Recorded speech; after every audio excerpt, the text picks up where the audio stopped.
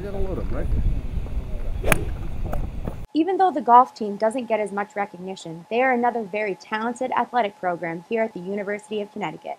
These Huskies are dedicated and have a season that goes all year round, starting in the fall and continuing into the spring. When, when I was setting up the schedule, I wanted to play a more national schedule, in that second tournament that we played at in Nebraska had, uh, I think it was 10 teams that played at the national championship um, that went to the national finals.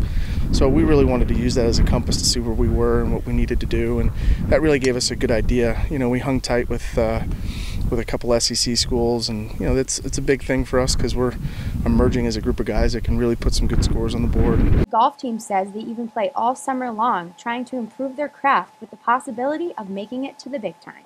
Uh, did a lot of traveling this summer. Uh, a couple times we went out to out west with a couple guys on the team for a couple tournaments. Traveled all over New England.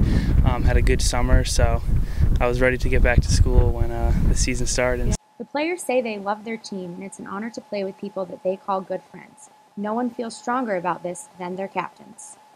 Being captain of the UConn golf team is pretty special.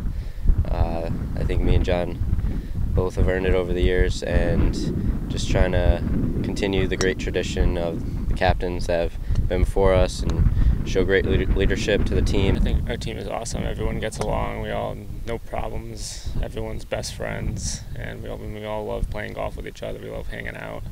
So I think that's really great. The team is looking to stay strong throughout the rest of their season after an impressive start, winning their first tournament and coming in eighth overall at their second.